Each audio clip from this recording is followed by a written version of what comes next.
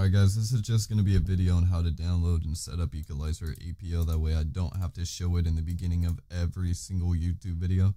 So, go to your browser, search equal, uh, equal, e, equalizer APO. Alright bro, I'm done bro. It's this one right here. Download it.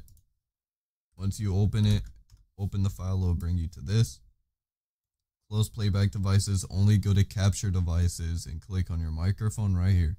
Alright, after you do that, unplug your mic, plug it back in, and press Windows key and go configurator. Just like that. This will open, it won't look like this, but you're going to click on the green plus, you're going to go to plugins, VST plugins. You're going to click on this file icon right here now you're going to go back to your browser and search discord.gg slash deafin and press enter, okay? So once you press enter, it'll bring you to Discord right here. Click to verify, scroll down, and it'll say free plugins. Go to plugins, click on this link. It's a mega file. This is not going to hack you. I did not make the DLLs, so you're pretty sure you're fine. I've been using them for years.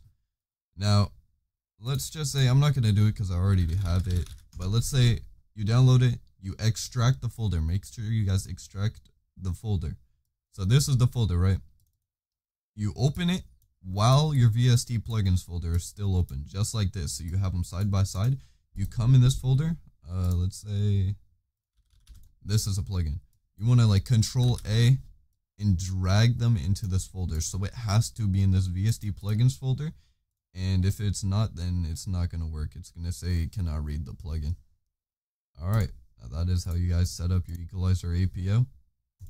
Hope you guys like the video. Jiggle my Fugan, jiggle my Logan.